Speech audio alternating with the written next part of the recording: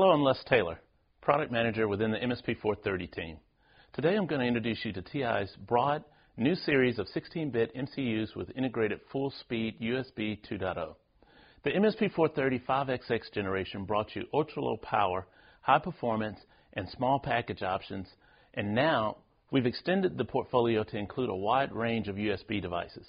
The new 5XX MCUs combine low power consumption with smart integrated peripherals making it well suited for applications like portable medical devices, industrial tools, consumer electronics, office automation, and portable business tools, as well as a broad range of other applications.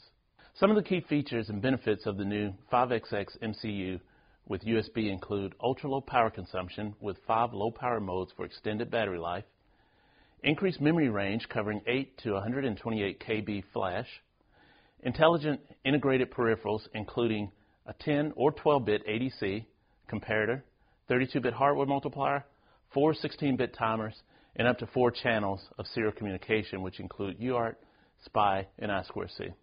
Various package options with small footprints. And finally, an integrated LDO for operation directly from the 5-volt power, saving cost and board space.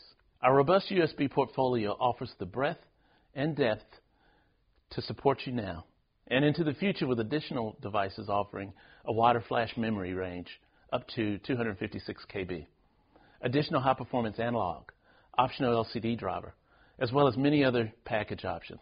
To jumpstart your USB design today, TI provides all the necessary tools, including a free vendor ID and product ID sharing program, saving you time and money. Software stacks supporting major USB device classes such as CDC for virtual COM ports, human interface, and mass storage, as well as others that are provided by third parties. And finally, TI's easy-to-use MSP430 Code Composer Essentials toolchain is included along with all the required hardware. Evaluation boards and silicon samples are available today, as well as the documentation and software needed to get started. For more information on TI's new 5XX MCU with integrated USB, please visit www.ti.com forward slash F5XX.